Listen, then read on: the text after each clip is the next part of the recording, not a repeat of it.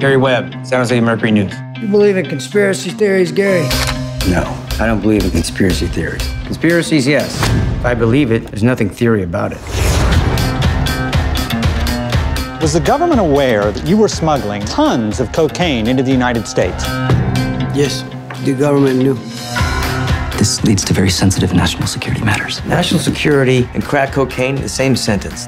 Does that not sound strange to you? I'm going to tell you the whole truth. I'm going to introduce you to people you should talk to.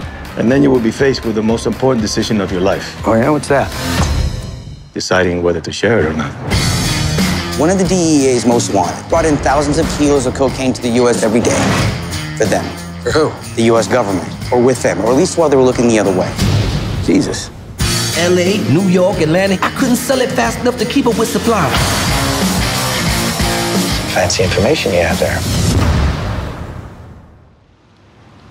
Dangerous. What you found here, Gary, is a monster. You have no idea what you're getting into. Are you really telling me that I should just walk away from this? You'd be an idiot not to. This story scares people. I'm your big brother. Well, it should. Be careful. There are ongoing operations you're in danger of exposing. We know you were in Nicaragua. Am I being followed? heard they found a solution. Will you be for the revolution? I thought my job was to tell the public the truth, the facts, pretty or not.